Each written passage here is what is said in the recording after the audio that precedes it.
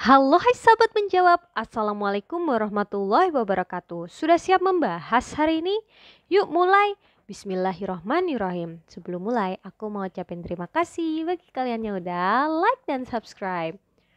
Oke kita buka buku bahasa Inggris kelas 9 halaman 174 dulu ya. Udah? Oke. Hari ini kita akan membahas About animals that live in Indonesia, which is the dragonfly and damselfly. Dragonfly and damselfly. Nah, jadi dragonfly and damselfly itu sebenarnya kalau di Indonesia disebut capung. Kalau gambar animasi ini mungkin kalian belum ada gambaran ya. Jadi aku udah cari di Google. Nah, ini dia gambarnya. Jadi dragonfly adalah benar-benar capung yang biasa kita lihat gitu ya, agak gendut dia.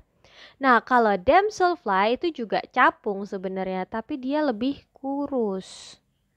Jadi ini ya perbedaannya. Nah, untuk gambaran aja sih. Oke, kita langsung mulai aja. Kalau gitu, kita akan membahas teks yang ada di Encyclopedia.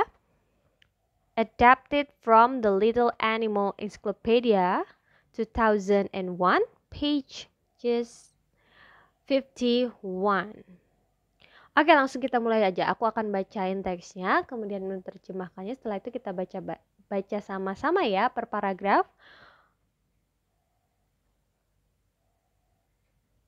Dragonflies are the fastest flying insects. Dragonflies are the fastest flying insects. Capung adalah hewan serangga terbang tercepat. Dragonflies are the fastest flying insects. They swoop over the stream and pound up to 90 kilometers per hour. They swoop over the stream and pound up to 90 kilometers per hour. Mereka menukik di atas sungai dan kolam hingga 90 km per jam. Damselflies have longer, thinner body and are more delicate with a slow fluttering flight. Damselfly have longer, thinner bodies and are more delicate with a slow fluttering flight. Damselflies memiliki tubuh yang lebih panjang, lebih tipis, dan lebih halus dengan penerbangan yang lambat dan berkibar. Terus, The wings of the damselfly are almost transparent. The wings of the damselfly are almost transparent. Sayap damselfly hampir transparan. They simmer as the damselfly searches for small insects to eat. The simmer as the damselfly searches for small insect to eat. Mereka berkilauan saat damselfly mencari serangga kecil untuk dimakan. Oke, kita ulangin lagi ya. Dragonflies are the fastest flying insects. They swoop over the streams and pound up to 90 kilometers per hour.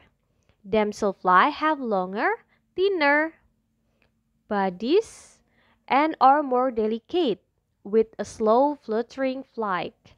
The wings of the damselfly are almost transparent.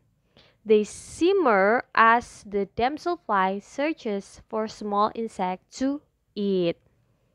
Oke. Okay. Sekarang lanjut ke paragraf berikutnya. Dragonflies and damselflies live near water. Dragonflies and damselfly live near water. Jadi capung ini yang bernama dragonflies and damselfly tinggal di dekat air.